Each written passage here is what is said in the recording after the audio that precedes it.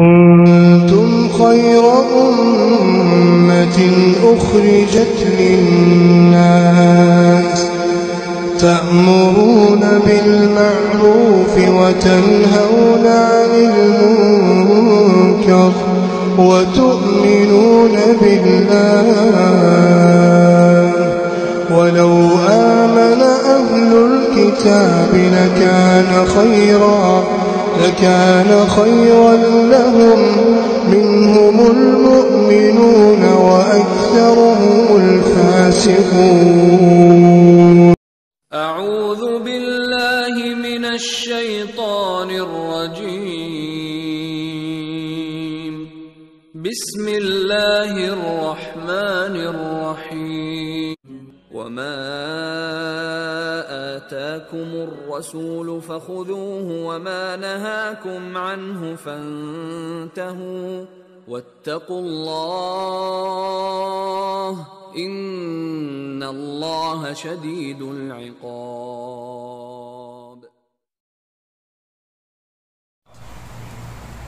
আচ্ছা আমরা এখন জানবো শিরকের দ্বিতীয় প্রকার কি প্রথম প্রকার এটা বড় শিরিক আর এই বড় শিরিক করলে মানুষ ইসলাম থেকে বেরিয়ে যায় তার সমস্ত আমল নষ্ট হয়ে যায়, এগুলো আমরা জানলাম। এখন দ্বিতীয় প্রকারের শিরিক হলো ছোট শিরিক, যেটাকে বলা হয় শিরকে আসগার। এই ছোট শিরিক কীভাবে হয়, এর এরও আবার প্রকার আছে। এটা অনেক সময় কথার মাধ্যমে হয়, অনেক সময় কিছু কাজকর্মের মাধ্যমে হয়। তো সেটা আমরা দেখব, ছোট শিরিক আমরা দেখতে, দেখলে খোঁজ করলে পাওয়া যাবে হাদিস কোরআনের দ্বারাতে। ছোট শিরিকও দুই প্রকারের আছে। ছোট শিরিকের কয় প্রকার? দুই ভাগে বিভক্ত। প্রথম ভাগ হলো শিরকে জাহির আর আরেকটা হলো শিরকে খাফি। একটা হলো শিরকে জাহির অর্থাৎ প্রকাশ্য শিরিক। একটা হলো প্রকাশ্য শিরিক আর একটা হলো শিরকে খাফি যেটা যাকে বলা যায় অপ্রকাশ্য শিরিক। মানুষ বুঝতেই পারে না অনেক সময়। মানে এমন আকিদার ভিতরে এমন কিছু আকিদাত রাখলেন যাতে আপনার শিরিক হয়ে যাচ্ছে। বিশ্বাসের মাধ্যমে শিরিক হয়ে যায়। আর একটা আছে জাহির যেটা শিরকে জাহির, যেটা প্রকাশ্য শিরিক, এটা ছোট শিরিকের ভিতরে, সেটা আবার দুইভাবে হয়। কীভাবে? এক হলো কথা বা উক্তির মাধ্যমে হয়, মানুষ বিভিন্ন কথাবার্তার মাধ্যমে শিরকে পতিত হয়ে যায়। দ্বিতীয় হলো ক্রিয়া বা কর্মের মাধ্যমে শিরিক হয়। যেমন প্রত্যেকটার আমি আপনাদেরকে মিশাল দিয়ে দেখাচ্ছি, যেমন কথার মাধ্যমে শিরিক কীভাবে হয় যেমন আমরা এই ছোট ছোট শিরিক কিন্তু এগুলো থেকে আমাদের বাচ্চা খুবই জরুরি। আর এগুলো কিন্তু আমাদের সমাজে অহরহ এবং খুবই বেশি প্রসিদ্ধ হয়ে আছে। বিশেষ করে মহিলাদের ভিতরে। বিশেষ করে মহিলাদের ভিতরে এই ছোট শিরিকটা ছোট শিরিকগুলো খুবই বেশি প্রচলিত হয়ে আছে। আর এটা কথার মাধ্যমে, কাজের মাধ্যমে আমরা এই শিরিকগুলো করে যাচ্ছি। যেমন ছোট শিরিকের একটা মেশাল আপনাদের দিই। যেমন আল্লাহ আল্লাহ ছাড়া অন্য কাউরি নামে কসম করা, এটা হলো শিরিক। এটা ছোট শিরিকের ভিতরে, কিন্তু ছোট শিরিক হলো আমাদের বাঁচতে হবে। কসম করা সাধারণত আমাদের জন্য যায় তাই না?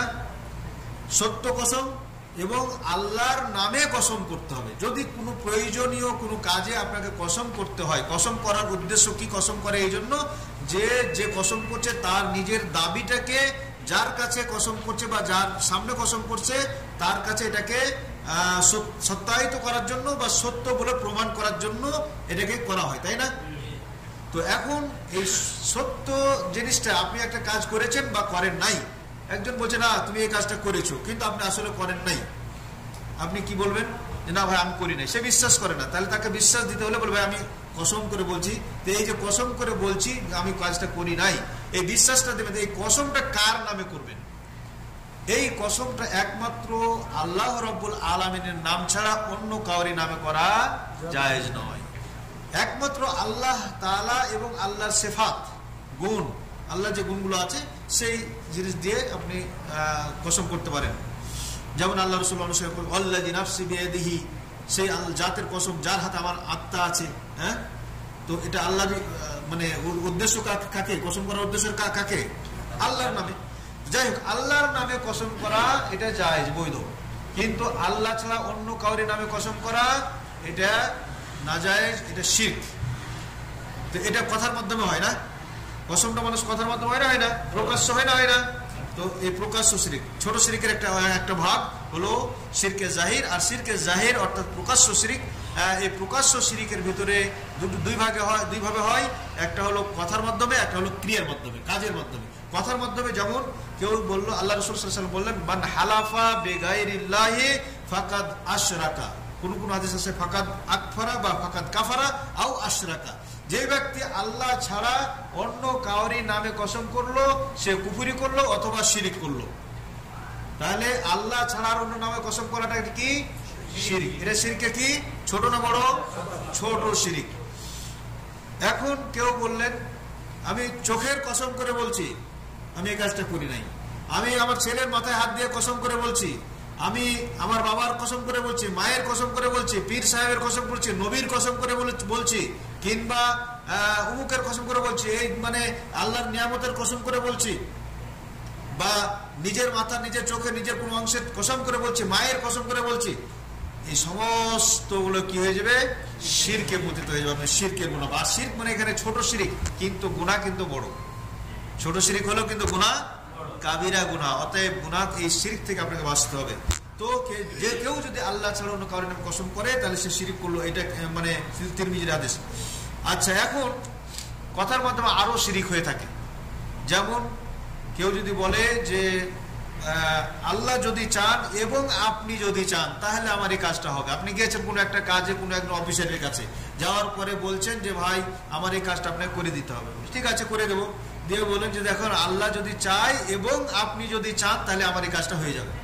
এই যে আল্লাহ এবং, আল্লাহর সাথে আপনি এবং দিয়ে তাকে সমান সম পরিমাণ করে দিলেন। এটাও কথার মাধ্যমে আপনার কি হয়ে গেল? শিরিক হয়ে গেল। ডাক্তারের কাছে গিয়েছেন, ওষুধ খেয়ে ভালো হয়েছেন। গিয়ে ডাক্তার বলছেন ডাক্তার সাহেব যদি আপনি না থাকতেন তাহলে তো আমি বাঁচতাম না। হ্যাঁ? আপনি যদি না থাকতেন আপনি যদি আমাকে না এই ওষুধ না দিতেন ওষুধ খাওয়া যায় ঠিক আছে সমস্যা নেই। কিন্তু আপনার কথার মাধ্যমে এটা শিরিক হয়ে গেল। কারণ রোগ মুক্তকারী কে? ডাক্তার না আল্লাহ? আল্লাহ। তো এখানে আপনি রোগ মুক্তকারী আপনি ডাক্তার আপনাকে বাঁচানোর মালিক বানিয়ে দিলেন কাকে? ডাক্তারকে তো এই কথার মাধ্যমে আপনার কি হয়ে গেল? শিরিক হয়ে গেল। তো এই ধরনের কথার মাধ্যমে শিরিক হয়ে যায়। যেমন বলে লাউল আল্লাহ ফোলান যদি আল্লাহর নাম নিচ্ছেন যে আল্লাহ না থাকতো এবং অমুক ব্যক্তি না থাকতো, তাহলে কিন্তু আমার এই কাজটা হতো না বা আমি বাঁচতাম না, তাহলে কি শিরিক হয়ে গেল? এইখানে আপনার যদি এই ধরনের কোনো কথা বলতে হয়, তাহলে শিরিক থেকে বাঁচার জন্য কি বলতে হবে?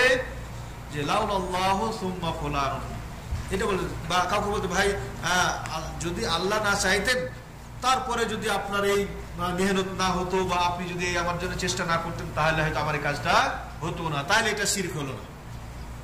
যদি বলতেন যে আল্লাহ, আল্লাহর ইচ্ছাতে এবং আপনার ইচ্ছাতে হয়েছে, তাহলে শিরিক হয়ে গেল। কারণ দুটোকে আল্লাহকে তাকে তার ইচ্ছা দুটো সমান করে দিলেন না? কিন্তু যখন এই ধরনের কথা বলতে হবে বলবেন কীভাবে? তখন এইভাবে যদি বলেন যে, আলহামদুলিল্লাহ আল্লাহর ইচ্ছাতে হয়েছে, তারপরে আপনার মেহনত বা আপনার ইচ্ছা বা আপনার চেষ্টাতে কাজটা হয়েছে। এই যে তারপরে যখন বলবেন তখন আল্লাহ থেকে তাকে নিচু করে দিলেন। এইবারে আপনার জন্য আর শিরিক হলো না, বরাবর হলো না। ঠিক আছে? এটা হলো কথার মাধ্যমে শিরিক।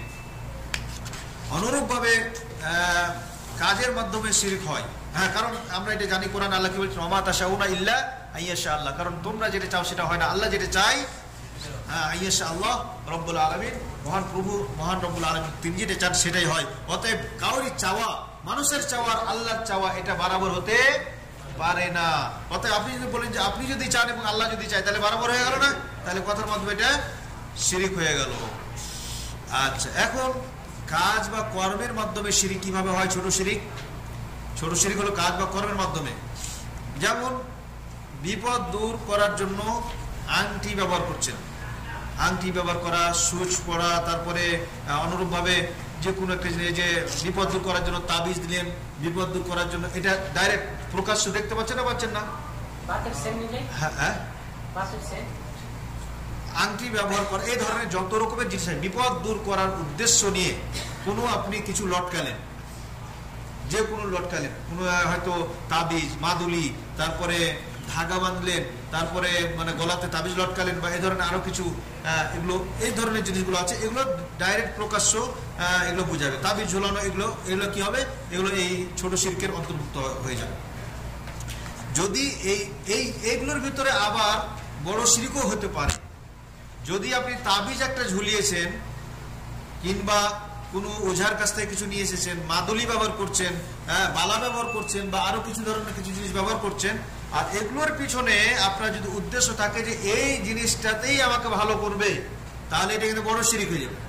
হ্যাঁ আর যদি এটা উদ্দেশ্য থাকে যে এগুলো একটা মাধ্যম, এর মাধ্যমে আল্লাহ ভালো করবে, এই উদ্দেশ্য যদি থাকে, তাহলে এটা ছোট সিঁড়িকে পরিণত হবে। এটা হলো প্রকাশ্য শিরিক। দ্বিতীয় ভাগ ছিল লুকায়িত শিরিক, গুপ্ত শিরিক। লুকায়িত শিরিক কীভাবে হয়? এই লুকায়িত শিরিকটা ছোট শিরিকের ভিতরে, নিয়তের ভিতরে হয়ে যায়। এটা নিয়তের ভিতরে। এটা মানুষ কেউ ডাইরেক্ট দেখতে পাওয়া যায় না, কিন্তু আপনার নিয়তের ভিতরে আপনি শিরিক করে বসে আছেন। এটা মানুষের নিয়ত বা ইচ্ছার মাধ্যমে হয়ে থাকে। যেমন, আপনি একটা কাজ করছেন, কাজটা লোক দেখানো কাজ করছেন। লোক দেখানো কাজ করলেন যে লোকে আমাকে খুব ভালো বলবে, লোকে আমাকে নামাজি বলবে, লোকে আমাকে হাজি বলবে, লোকে আমাকে দানি বলবে। দান করলেন, টাকা আল্লাহ রাস্তায় দান করলেন, সাদকা করলেন, খায়রাত করলেন। আর উদ্দেশ্য হলো আপনার মনের ভিতরে, এইটা, এটা আপনার লুকায়িত শিরিক। মনের ভিতরে একটা চিন্তা এসে গেল যে লোকে আমাকে বলবে, যা, যাক, এই লোকটা অনেক দানি, দান করে হ্যাঁ? তো এটা কি ডাইরেক্ট প্রকাশ্য হবে না মনের ভিতরে হবে? এটা লুকায়িত শিরিক। আপনি